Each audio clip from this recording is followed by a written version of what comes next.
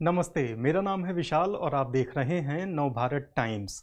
दोस्तों, जब चुनाव का मौसम आता है तो एक खास तरह के आर्टिकल ज़रूर आते हैं। वो जो टेम्पलेट टाइप के होते हैं कि कौन सबसे गरीब उम्मीदवार है, कौन सबसे अमीर उम्मीदवार है जो चुनाव लड़ रहा है। अब तक आपने कई करोड़पति, अरबपति कैंडिडेट देखे होंगे, लेकिन क्या आपने अभी तक ट्रिपल एमए करने वाला या एक करोड़ रुपए की नौकरी करने वाला कैंडिडेट देखा है? नहीं देखा होगा, क्योंकि ऐसा बहुत कम होता है।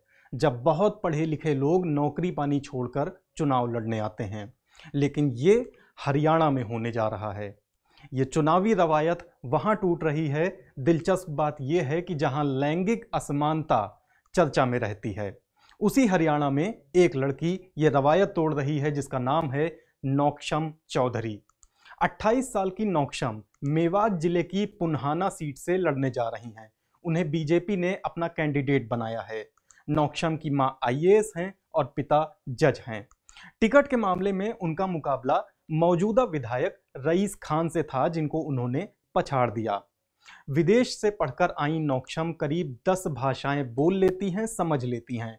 उन्होंने तीन बारे में किया है अलग अलग सब्जेक्ट्स में, जिसके बाद उन्हें एक करोड़ रुपए की नौकरी का ऑफ़र मिला था। लेकिन ऐसी शानदार नौकरी छोड़कर नौक्षम ने हरियाणा की सबसे पिछड़ी सीट पर अपनी किस्मत आजमाने का फैसला किया है। बीजेपी के टिकटों का ऐलान करने से करीब एक महीने पहले नौक्षम ने पार्टी आलाकमान से चुनाव लड़ने की इच्छा जताई थी।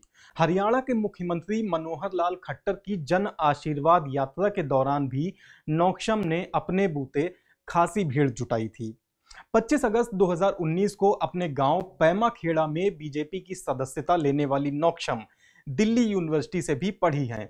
डीयू के मिरांडा हाउस कॉलेज में पढ़ते समय छात्र संघ नेता भी रहीं और ये बताता है कि स्टूडेंट लाइफ में ही उन्हें सियासत का चस्का लग गया था। हालाँकि उसके बाद उन्हें पढ़ाई करनी थी और पढ़ने की लगन नौक्षम को इटली और ब्रिटेन तक ले गई। पीएम मोदी की फ़ैन नौक्षम खुद को मेवात की बेटी बताती हैं और इसकी सेवा करने की बात कहती हैं।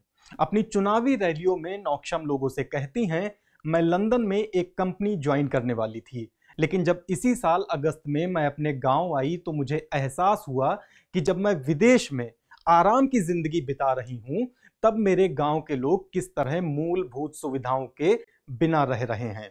इसके बाद मैंने अपना समाज में योगदान देने का फैसला किया। खराब सड़कें और शिक्षा की कमी मेरे एजेंडे में सबसे ऊपर है। आरएसएस की विचारधारा से इत्तेफाक रखने वाली नौक्षम को टिकट मिलने की कहानी भी वैसे बड़ी दिलचस्प है। मेवात की सोशल इंजीनियरिंग भी इसके पीछे एक वजह है। अंदर खाने की खबर रखने वाले बताते हैं कि आरएसएस बीजेपी के सदस्यों ने आला कमान से मेवात ज़िले की जो तीन विधानसभा सीटें हैं, उनमें से किसी एक पर हिंदू कैंडिडेट उतारने की वकालत की थी।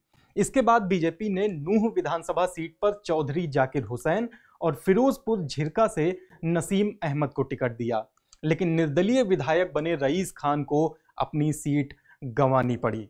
अब देखना यह है कि 21 अक्टूबर को पुन्हाना की जनता नौक्षम की किस्मत का क्या फैसला सुनाती है। आप बने रहिए नवभारत टाइम्स के साथ। हमारा ये वीडियो अगर आपने फेसबुक पर देखा है तो प्लीज़ हमारा पेज लाइक कीजिए।